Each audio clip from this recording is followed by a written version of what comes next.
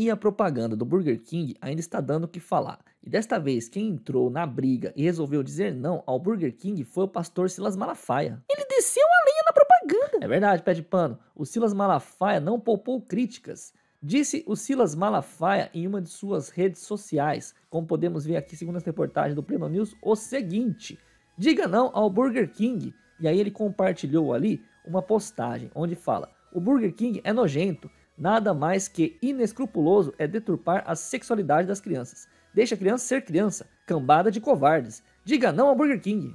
A petralhada vai chorar a noite toda hoje. Pastor Silas Malafaia não tem papas na língua. É verdade, pé de pano, ele resolveu dizer tudo o que pensa, né? Inclusive a reportagem está disponível aqui no Pleno News e está disponível também em vários outros locais, como por exemplo aqui no jornal Estado de Minas, onde fala Burger King X Silas Malafaia ou Civilização X Barbárie. Mas e você que assiste esse vídeo? Qual a sua opinião sobre esta polêmica toda? Deixa aqui nos comentários que eu quero saber. Deixem o like e ativem o sininho. Isso eu não vou admitir.